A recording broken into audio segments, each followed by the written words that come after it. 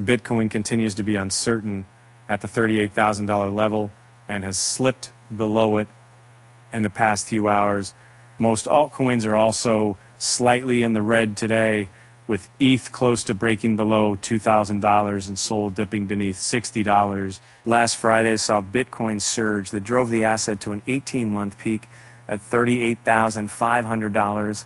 However, the cryptocurrency failed to maintain its momentum and dropped to under $38,000 almost noon immediately. Next weekend saw very few noteworthy movements with BTC standing in a range between $37,000 and $37,500. Uh, Monday and Tuesday, though, brought more pain for the bulls as the asset fell to a multi-day low of $36,700. Nevertheless, they managed to regain control over the market and pushed BTC north on Wednesday. And this culminated in a price surge to $38,400. The Bitcoin couldn't keep heading north and chart a new year and a half peak. And just the opposite. The asset has lost some traction since then and now trades under $38,000.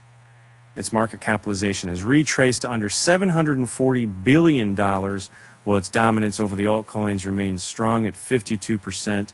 Uh, uh, most larger cap alts registered impressive price gains yesterday, but the landscape today has changed. Ethereum is down by 2% and is close to breaking below $2,000 after nearing $2,100 yesterday. Binance Coin, Ripple, Tron, Toncoin, Avalanche, and Matic have declined by similar percentages. Uh, Solana, Cardano, uh, and Polkadot are down by more than 3%. This means that SOL is currently under $60, ADA is way below $0.4, and DOT is just inches above $5. Uh, Dogecoin is the only top 10 alt in the green. Uh, Leo, Rune, Unjay, and MNT are uh, with gains from the mid-cap alts. Uh, IOTA, though, has emerged as the top performer um, from the top 100 digital assets, um, having soared by over 30% in a day.